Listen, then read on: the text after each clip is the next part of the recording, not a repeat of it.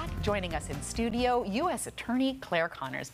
Ms. Connors, thank you so much for joining us. Thank you. It's great well, to you, be here. You and your federal partners have been very busy taking on everything crime, corruption, hate crime, violent crime at the federal level here in Hawaii. Today we have a sentencing in a Maui hate crime case. Why is that significant that that's going through? Yes, it is a very significant case, Gina, because it demonstrates to the public that it doesn't matter who you're targeting. If you are racially motivated in the violence that you commit against another person, you will face criminal consequences. And we have two defendants who are being sentenced today.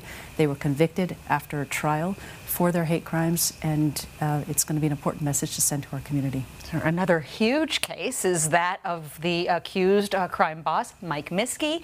We did notice in public record that you yourself, the top boss, coming into the courtroom. That's a press. That's precedent setting.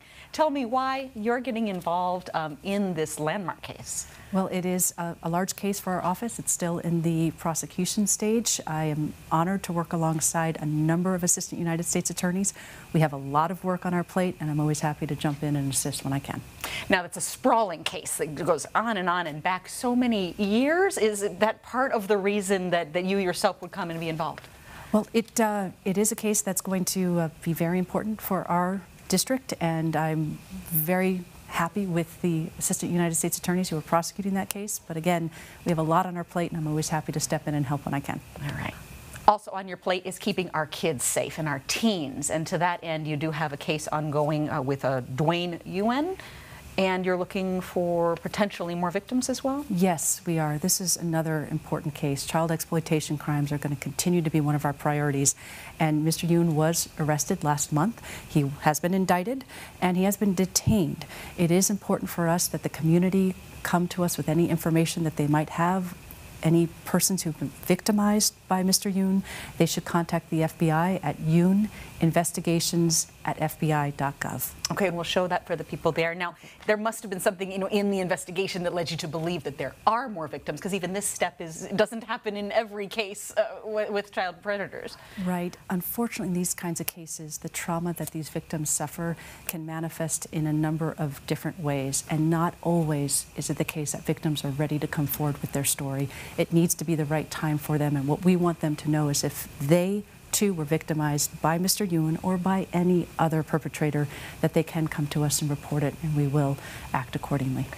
Public corruption is keeping the federal offices very busy, and you've had some, again, landmark cases there. You want to talk about a couple of those recently? Stewart Stant on Maui, Nikki Lum with campaign? Yes, last month we uh, secured a sentence of 10 years for Stewart Stant. He was a Maui County official. He accepted upwards of $2 million in bribes.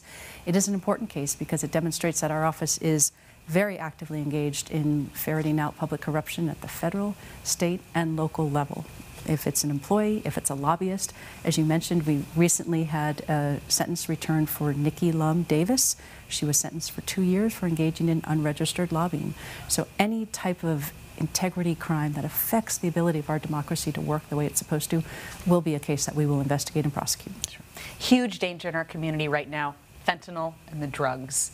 You have an event coming up to help bring awareness to that this weekend? Yes, we do. We have Celebrate Safe Communities. We are going to be gathering as a partnership of law enforcement. All of us chief law enforcement officers will be at Pearlridge this weekend from 10 to 3 talking about what we're seeing. And yes, fentanyl is increasingly a threat because the overdose death potential is so acute just the smallest amount of fentanyl can cause an overdose. And we're mostly concerned about our children because they're being targeted on Instagram and Snapchat by dealers.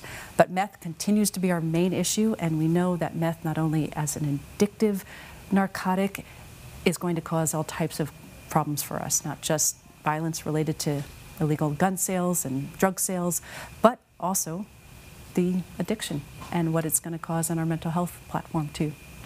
Last time we saw you, we talked about the COVID relief money, and you were then and are continue to add more and more and more indictments and charges having to do with fraud with COVID relief money. Yes. Uh, but there's a program for people to come clean before they get indicted? Yes, there is. So you hear about our criminal prosecutions, and we are actively uh, partnering with all of our federal uh, offices of inspector general, our, our federal criminal investigative agencies.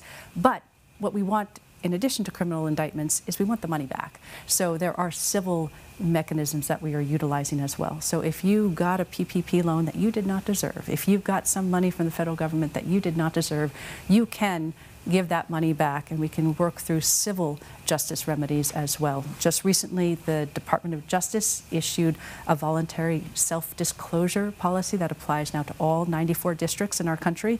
And that means that if you come forward and uh, admit to corporate misconduct or misdeeds that you will not face a guilty plea unless there's some kind of aggravating circumstances. So this is a big deal. It's part of what we're doing to encourage cooperation with the government because what we want first and foremost is compliance, good corporate government uh, governance, and this is one way we're hoping to achieve that. That's great. And for relief money to go to actually giving relief to those who deserve right, it. Right. right. Small businesses, the uh, intended recipients, they didn't get the money when those who didn't deserve it got it. Well, thank you for everything that you're doing to help keep things clean. Your job never ends, truly. Right, right. Happy to do it, and uh, that's our job to protect our community. Thank you. And we'll send it back to you.